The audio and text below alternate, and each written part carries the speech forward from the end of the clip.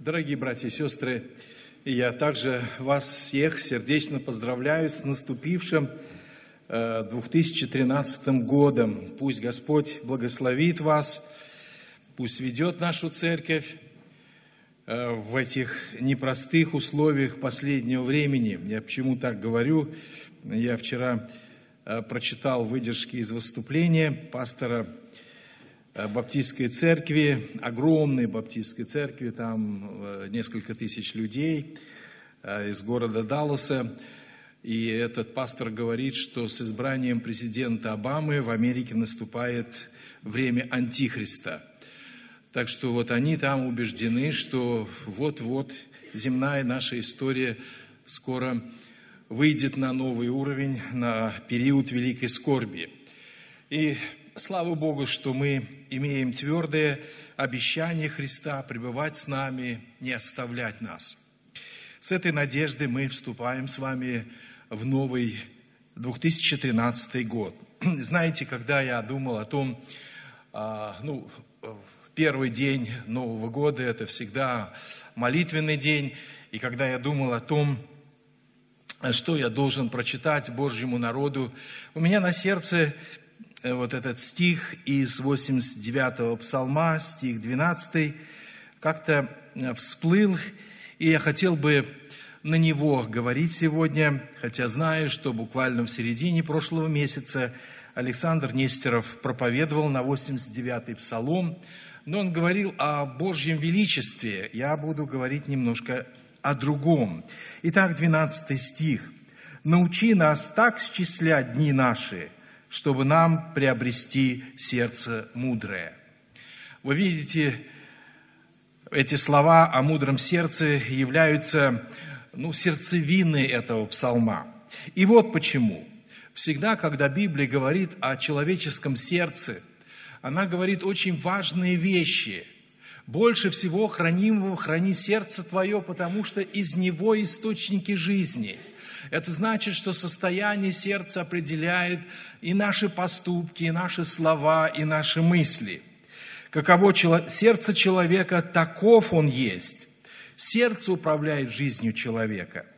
И мудрое сердце – это сердце, которое принимает правильное решение, основанное на Божьей истине – и наоборот, глупое сердце руководствуется исключительно своими соображениями, соображениями выгоды или соображениями того, что этому сердцу кажется правильно. Но вы знаете, разница Финальная разница будет великая между обладателями мудрого и неразумного сердца. Помните, как Господь в притче рассказал, э, есть две группы людей, есть люди с мудрым сердцем и люди с неразумным сердцем. Так вот, участь мудрых – вечная жизнь, участь неразумных – вечное мучение. И, кстати, э, в Библии никогда не отделяет разум от сердца. Э, в библейском понимании сердце – это вот вся внутренняя духовная жизнь человека, его духовный мир.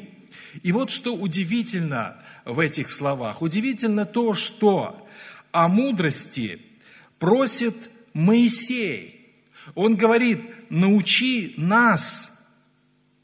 Значит, и себя включает в это число. Научи нас так счислять дни наши, чтобы приобрести сердце мудрое. Братья и сестры, ну кому-кому? Моисею ли просить об этом даре? Подумайте, на тот момент, скорее всего, Моисею было уже где-то около 120 лет. И, скорее всего, этот псалом был написан в тот момент, когда Израиль э, должен был переступить границы обетованной земли, а Моисей уйти в небо. И обратите внимание, именно в этот момент Моисей просит, Господи, научи нас – и его в том числе приобрести сердце мудрое. Дорогие друзья, вы знаете, это удивительная вещь, если мы вспомним, кем был Моисей. Он сам по себе был человеком очень мудрым. Когда-то в молодости он окончил египетские университеты. Он обучился всей мудрости египетской. Прибавьте к этому и то, что он был величайшим пророком. Он говорил с Богом лицом к лицу. Поэтому он еще получил образование в Божьем университете, выше которого нет во всей Вселенной. Добавьте к этому, что он был еще и Божьим пророком. Это человек, который безошибочно предсказывал будущее, то, которое ему открывает Бог. И вот этот человек, у которого было достаточно много житейской мудрости, достаточно много духовной мудрости, человек, который уже 120 лет всякого видел, он смиренно просит, научи нас счислять дни наши, чтобы приобрести сердце мудрое. Дорогие братья и сестры, я хочу сказать, что если Моисей просил о мудрости, о мудром сердце, тем более это нужда каждого из нас. Вы знаете, сегодня э, учителя земной мудрости вам преподадут ложные уроки. Вот буквально на днях перед Новым годом я заглянул в, магазин, э, посмотрел там разные книги, вижу книжечка Андрея Дементьева.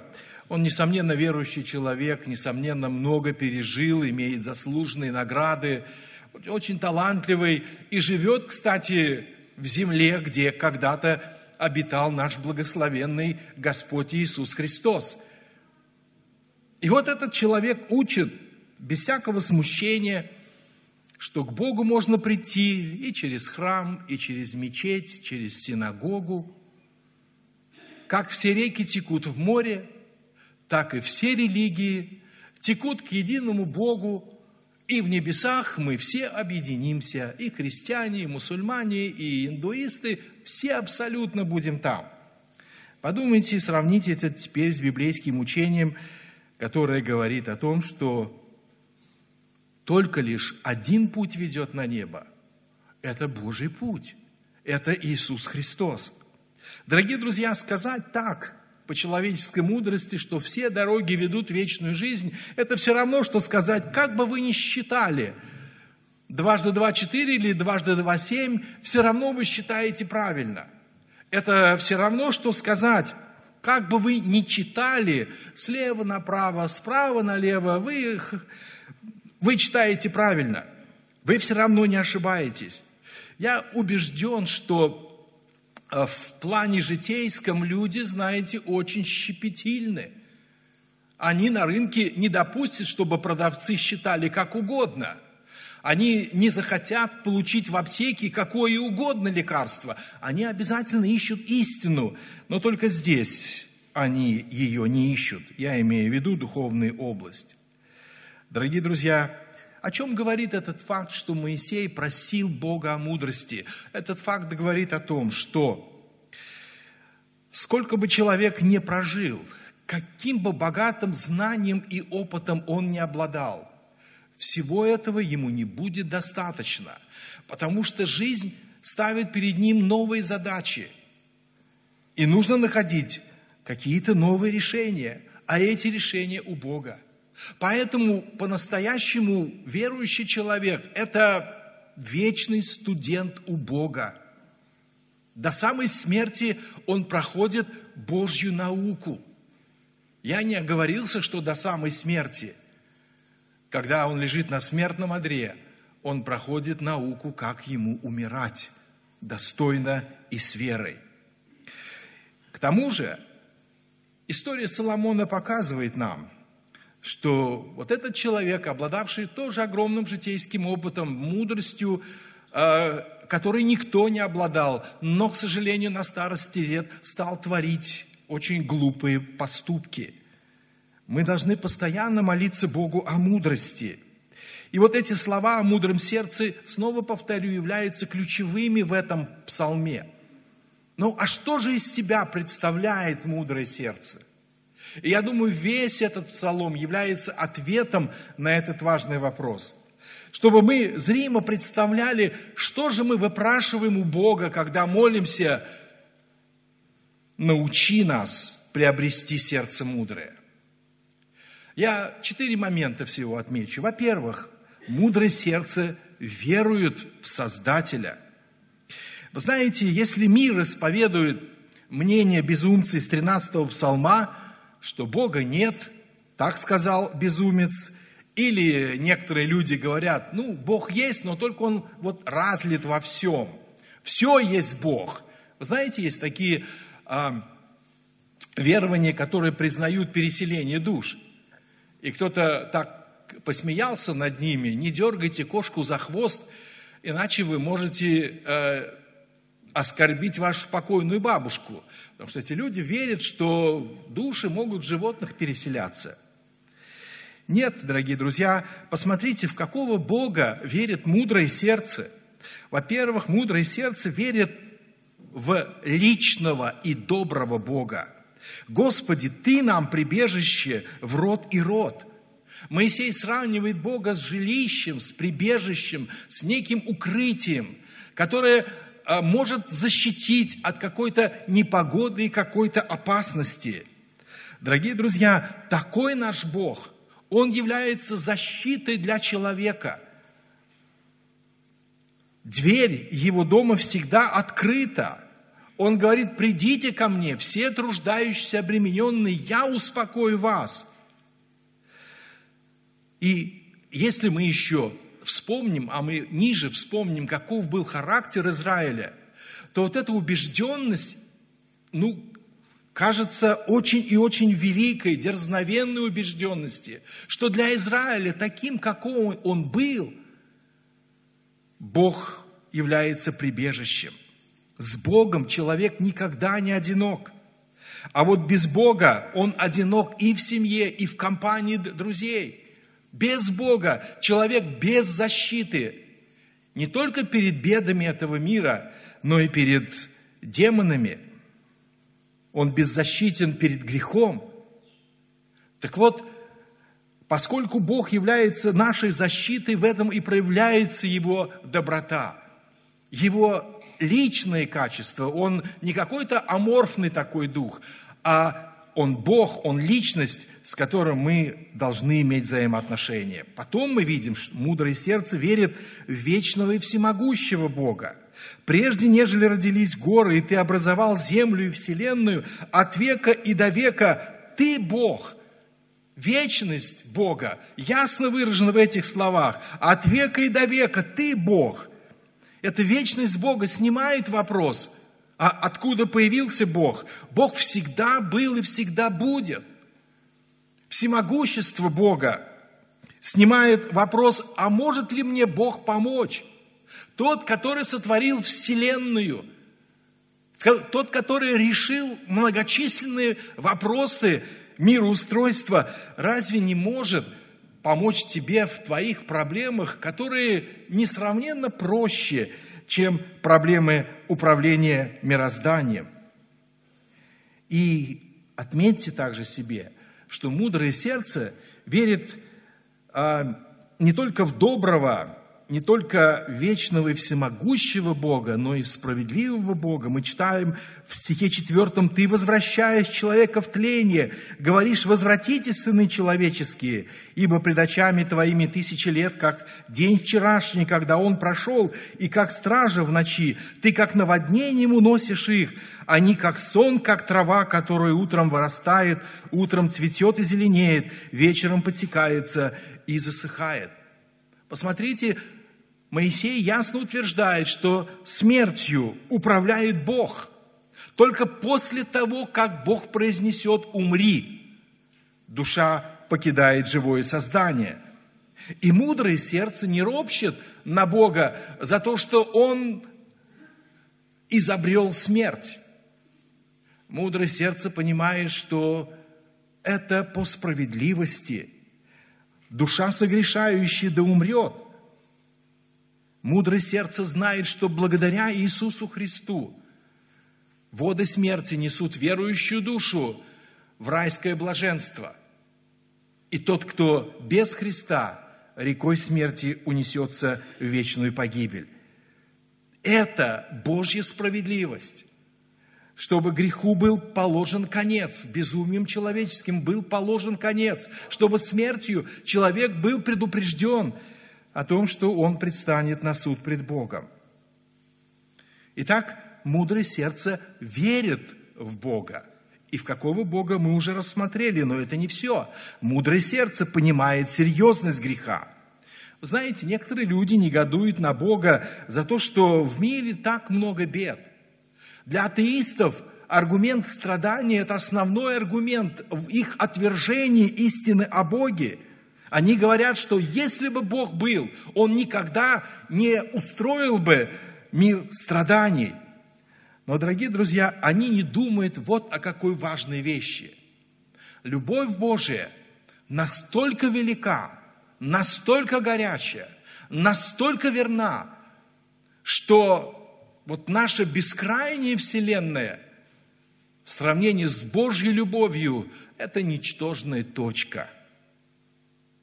Любовь Бога чрезвычайно велика. И если такой Бог гневается и негодует, это означает не то, что у него маловато терпения, или он оскудел в своей любви, а это говорит о том, что грех – очень страшное происшествие. И мудрое сердце всегда будет это понимать, что грех ужасно серьезен – Посмотрите, что сказано в седьмом стихе и ниже. «Ибо мы исчезаем от гнева Твоего, от ярости Твоей мы в смятении. Ты положил беззаконие наше пред Тобою и тайны наши пред светом лица Твоего. Все дни наши прошли во гневе Твоем. Мы теряем лета наши, как звук. Дней наших семьдесят лет, при большей крепости восемьдесят лет. И самые лучшие пора их труд и болезнь, ибо проходит быстро, и мы летим. Кто знает силу гнева Твоего и ярость твою по мере страха твоего. Вы посмотрите, пять раз Моисей упоминает в, этом, в этих стихах о Божьем гневе или о Божьей ярости. И действительно, гнев Божий горел над Израилем все время его странствования в пустыне. Почему? Ответ один. Не потому, что Бог недобр, не потому, что его любовь уменьшилась, Послушайте, что сказано эм, э, Богом, книга Второзакония, 32, 32 глава, с 5 стиха, там содержится песнь, которую Моисей написал по вдохновению от Бога, и он велел, чтобы Израиль выучил эту песнь наизусть. И эта песня очень тяжелое откровение о греховности Израиля – Посмотрите, я только некоторые моменты прочту. Но они развратились пред ним, они не дети его по своим порокам, род строптивый, развращенный – Сиели вы воздаете Господу народ глупый и несмысленный. Не Он ли Отец твой, который усвоил тебя, создал тебя, устроил тебя? 15 стих. Уточнел Израиль, стал упрям, уточнел, отолстел, разжирел. Оставил он Бога, создавшего его, презрел твердыню спасения своего. Богами чуждыми они раздражали его и мерзостями разгневали его приносили жертвы бесам, а не Богу, богам, которых они не знали, новым, которые пришли от соседей, о которых не помышляли отцы ваши, а заступника, родившего тебя, ты забыл и не помнил Бога, создавшего тебя – Господь увидел и в негодовании пренебрег сынов своих и дочерей своих, и сказал, сокрою лицо мое от них, и увижу, какой будет конец их, ибо они род развращенный, дети, в которых нет верности, ибо они народ, 28 стих, потерявший рассудок, и нет в них смысла. О, если бы они рассудили и подумали о сем, уразумели, что с ними будет. И ужасные слова 32 стиха. Ибо виноград их – от виноградной лозы Содомской, из полей гоморских, ягоды их, ягоды ядовитые, грозды их горькие, вино их яд драконов и гибельная отрава аспидов. Посмотрите, какие ужасные грехи перечисляет здесь Бог, строптивость, непокорность, развращенность, глупость, упрямство, бесопоклонство, неблагодарность, неверность, адская мерзостность – и вот Бог поэтому гневался на Израиль. Грех – это дело серьезное, мудрое сердце это понимает. Грех обходится очень дорого человеку. Вы посмотрите, я вот э, постарался исследовать этот вопрос, каким образом Бог наказывал свой народ, в чем проявлялся Божий гнев на грех. Бог наказывал Божий народ огнем. Три случая в Библии мы найдем, когда Бог наказал священников Надава и Авиуда за то, что они принесли чуждый огонь. Бог наказал 250 князей израильских, эту элиту израильского общества огнем за то, что они встали на сторону мятежников. Бог наказал огнем народ, когда они э, роптали на Господа, и тогда Господь воспламенился и стал огнем истреблять край стана. Бог наказывал свой народ болезнями – моровой язвой, проказой. Он наказывал их с, э, смертными казнями. Вы знаете, там два случая в Библии найдете, когда Бог повелел побить камнями людей.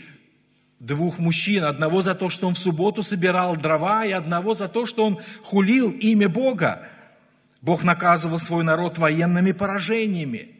Бог наказывал людей поглощением землей. Это в случае Дафана, Корея и Аверона, когда земля разверзлась и поглотила этих людей с их домашними, смертельными укусами ядовитых змей, сорокалетним бесцельным блужданием, лишением права целого поколения войти в землю обетованную. Все это были проявления Божьего гнева. И они доказывали одну истину, которую мудрое сердце принимает. Грех – это вещь очень серьезная. И сегодня Бог не оставляет без наказания грех. Я прочитал одну статью, где вот подобраны такие а, ужасные случаи, когда Бог взыскивал с людей за их превозношение, за их нечестивость. Так, вы знаете, известный певец Джен Леннон на пике своей известности заявил, мы известнее, чем Иисус Христос – идеи Христа слишком простые, время Христа прошло. И после того, как он объявил об этом, один сумасшедший, который хотел известности, застрелил его. Политик Бразилии Танкреда Диамейда Невис во время своей президентской кампании сказал, что если я наберу 500 тысяч голосов для своей партии – сам Бог не сможет сместить меня с президентского поста. Он набрал эти голоса и за день до своей инаугурации скоропостижно умер. Один бразильский певец, композитор, поэт во время шоу в Рио-де-Жанейро затянулся с сигаретой и выпустил дым в воздух, провозглашая «Бог это тебе. В возрасте 32 лет он вскоре умер от СПИДа.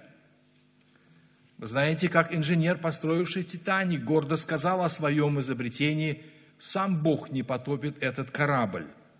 Корабль погиб.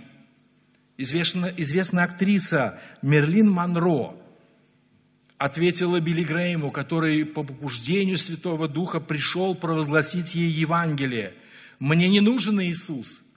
Через неделю ее нашли мертвой в ее апартаменте. И в 2005 году в городе Кампинас в Бразилии группа пьяных друзей пришла забрать свою подругу из дома. И вот э, хотели усадить ее в машину, а матушка сказала своей дочке, ну, дочка, езжай с Богом, пусть Он сохранит тебя. А и а ее девочка дерзко ответила, в нашей машине уже нет места для него, разве только он залезет и поедет в багажнике. Через несколько часов матери позвонили, случилась страшная авария, машина в смятку абсолютно, все погибли. Единственным местом, которое уцелело, был багажник. И он даже очень легко открылся – в багажнике была кассета яиц. Ни одно из них даже не треснуло. Бог показывает человеку Не обманывайтесь, Бог поругаем не бывает, что человек посеет, то и пожнет. Мудрое сердце боится греха. Оно знает, как он дорого обходится. Гораздо выгоднее вести святую жизнь. В-третьих, мудрое сердце дорожит временем. Мы уже прочли этот стих, но еще раз обратим на него внимание. «Научи нас так счислять дни наши, чтобы нам приобрести сердце мудрое». Вы знаете, одно из проявлений безумия человека является безалаберное отношение ко времени. Вы, наверное, слышали такие выражения «убить время», «транжирить время», «провести время». И его действительно прожигают, и очень многие люди считают только года, отмечают либо Новый год, либо день своего рождения – а этот текст призывает нас отмечать дни. Здесь не сказано «научи нас так счислять года наши». А как здесь сказано? Дни. Не месяцы даже, дни. Это значит, что каждый день мы должны рассматривать для себя как великую ценность. Каждый день мы должны прожить с пользой – а что значит прожить с пользой, дорогие друзья? Значит ли прожить с пользой день, это значит заработать денег побольше? А значит ли это прожить с пользой, что мы посетим какие-нибудь злачные места, прочитаем хорошие книги, славно поработаем? Вы знаете, провести с пользой день означает, как говорит нам первое послание Петра 4, 10, 11, Служите друг другу каждый тем даром, который получил, как добрые домостроители многоразличной благодати Божьей. Говорит ли кто, говори как слова Божии. Служит ли кто, служи по силе, которую дает Бог, дабы, и вот эта польза, дабы во всем прославлялся Бог через Иисуса Христа, которому слава и держава во веки веков. Дорожить днями или счислять дни означает проживать их для славы Божьей. И поэтому, когда завершается день, задайте себе простой вопрос. Был ли этот день прожит для славы Божьей? Каким образом был прославлен Бог? Алексей Иванович, по-моему, мне подсказывает, спасибо, очень верно, когда мы день проживем свято – Этим прославляется Бог. Когда мы в прожитом дне окажем кому-то добро, а сказано, будем делать добро своим, наипаче своим по вере, то значит, мы его прожили для славы Божьей. Спросите себя, благословлят ли меня дети мои моим вниманием и моим добром, которое я им оказывал? Благословит ли меня мой супруг или моя супруга? Благословят ли меня мои друзья? Или, может быть, заканчивая день, мы скажем, что этот день был прожит только для себя. Ничего для Господа не было сделано. Наконец, мудрое сердце ищет живых отношений с Богом. знаете, хуже всего на свете одиночество – и еще более хуже, когда человек одинок в духовном смысле, он не имеет связи с Богом. А, еще во втором году поэтесса Зинаида Гипус написала стихотворение под названием «Христу». Там есть такие строчки, очень печальные строчки, которые говорят о чувствах человеческого сердца, лишенного общения с Богом. Мы не жили и умираем среди тьмы. Ты вернешься, но как узнаем тебя мы? Все дрожим и себя стыдимся, тяжел мрак. Мы молчаний твоих боимся, о, дай нам знак. Если нет на земле надежды, то все прах. Дай коснуться твоей одежды, забыть страх – ты в дни, когда был между нами, сказал сам, не оставлю вас сиротами, приду к вам. Нет тебя, душа не готова, не бил час, но мы верим, ты будешь снова среди нас. Видите, какие желания души. И когда Бог в нас, когда Бог с нами, когда мы в живом общении, у нас все встает на свои места. И в дальнейшем буквально каждое выражение говорит о страстном желании Моисея. А он желает, чтобы это было желанием всего народа. Была жажда общения с великим Богом. Посмотрите, Моисей просит, обратись, Господи. Вы не можете общаться с человеком, который к вам обращен спиной. Общения не будет. Общение там, где лицо смотрит в лицо, глаза смотрят в глаза. Вот точно так же и с Богом. Когда мы видим Его лицо, тогда может быть настоящее общение. И псалмопевец говорит, обратись. То есть он не может вынести отстраненности Бога, он не может вынести «я живу, а Бог молчит». Он со мной не разговаривает. И псалмопевец просит, «Доколе умилосердись над рабами твоими». Иначе говоря, он подчеркивает, что общение с Богом – это э, дар незаслуженной милости. Умилосердись над нами, умилосердись над рабами твоими. Мы не имеем права требовать у Бога общения. Мы его не заслуживаем. Но когда мы обращаемся к Его милости, тогда Бог его являет. И как в 14 стихе э, интересно сказано, «Рано насыти нас милостью Твоей, и мы будем радоваться и веселиться во все дни наши». Братья и сестры, посмотрите, какой глубины общения жаждет Моисей для себя и для своего народа.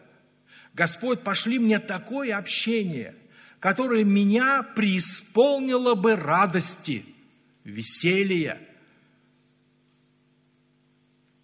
Есть ли у нас такая потребность в такой глубине общения с Богом? Или мы так отговорили свое, отчитали свое и с чистой совестью уходим без всякой глубокой радости в душе. А ведь мы можем рассчитывать на большее. Посмотрите, какое святое дерзновение в этом о живом общении проявляет Моисей. «Возвесели нас за дни, которые ты поражал нас, за лета, в которые мы видели бедствие». Моисей просит о компенсации. Он говорит, 40 лет мы жили под твоим гневом. Компенсируй нам эти утраты. Не знаю, просил ли он о сорокалетней радости наперед – или он рассчитывал, что Бог компенсирует всегда с большими процентами, поэтому тут можно рассчитывать на весьма долговременную радость. Одно ясно, живое общение с Богом изобилует радостью или должно изобиловать радостью.